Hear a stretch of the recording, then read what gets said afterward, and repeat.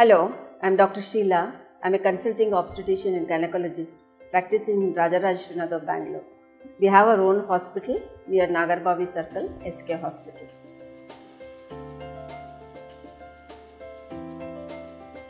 Augmentation of labor is a process wherein we stimulate the uterus to get the desired intensity, frequency, and duration of contractions in a woman who is already in established labor, but the progress of labor is delayed.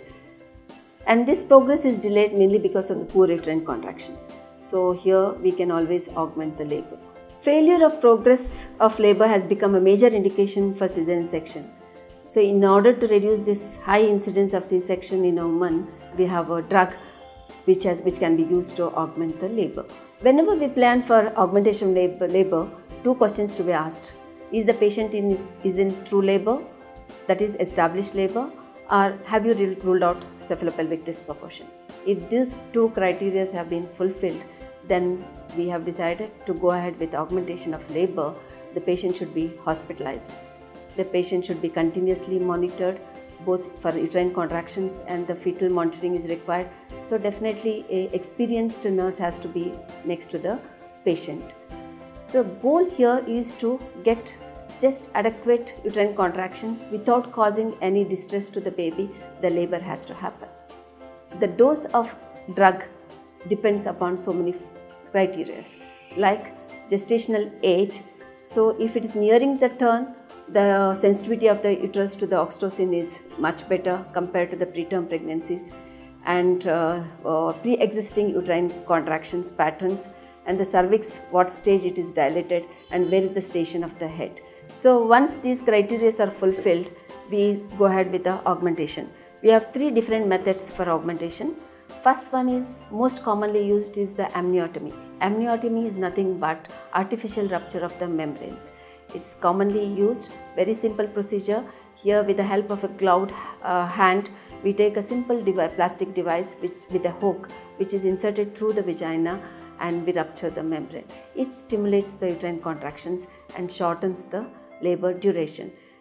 It, is, it doesn't cause much discomfort, then it is uh, a very simple procedure. Then coming to the next method that is drug called oxytocin. It is a synthetic hormone which is very commonly used again and it acts by st stimulating the uterus uterine contractions and desired contractions like in intensity, duration and frequency can be obtained with this drug.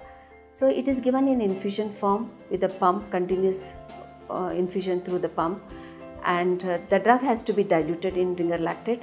About 10 units of syntocinon is diluted with 1000 ml of ringer lactate that gives dilution of 10 milliunits in 1 ml.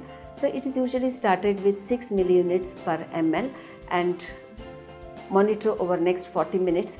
Then again, it, if the desired contractions are not obtained, then we increase it by another 6 milliunits till we get the desired uterine contractions.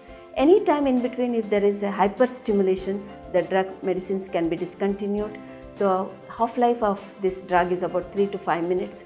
So in another 10 to 15 minutes or half an hour time, completely uterus is relaxed. Then again the cardiac activity is normal, fetal cardiac activity is normal. Again it can be started at half the dose that is 3 milliunits per ml and again accelerated by 3 milliunits per ml but the dose should never exceed 40 milliunits per ml. So it's a very useful drug and very routinely we use it. But continuous fetal monitoring and uterine contraction monitoring should be uh, there to avoid complications. Then third method is the combination of both amniotomy as well as oxytocin. It is proved beyond doubt that when oxytocin, when the combined method is used, uh, it is much better than oxytocin drug alone. So these are the three methods we use. So with the use of augmentation methods, definitely C-section rates have come down and complications like delivering hypoxic babies or hyperstimulation and rupture of the uterus has come down drastically mainly because we are monitoring the fetus as well as the mother very well. So thank you.